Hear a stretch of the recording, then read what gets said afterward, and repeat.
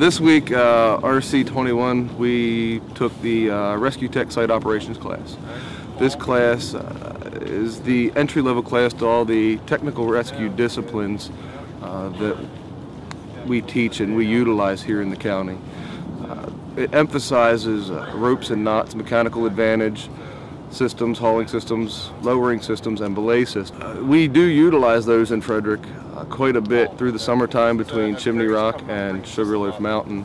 We do uh, you have many uh, emergency incidents where we do have to evacuate people using rope systems. The class does incorporate a lot of knot craft along with that.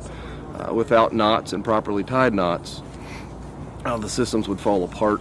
Our victims would fall out of our Stokes baskets, and uh, our, our, people could potentially be injured from falling as well. Today, we simulated a deer hunter had fallen out of a tree stand uh, and was not wearing safety uh, fall protection and landed and was unconscious. We sent a group of recruits in as a recon group to find the victim, access the victim, evaluate his injuries, and call for additional resources to extricate the victim. Uh, they sent the rescue team in who was in charge of rigging the uh, hauling system and the belay system to allow access of the rest of the equipment needed, uh, mainly the Stokes basket, to the top of the hill to properly package the patient.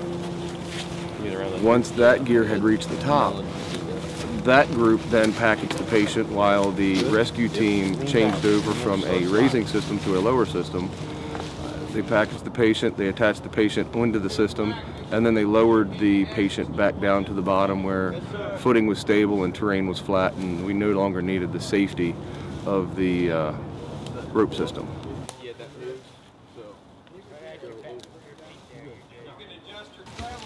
We have the patient. We're starting out. Uh, we're coming out the south end of the trail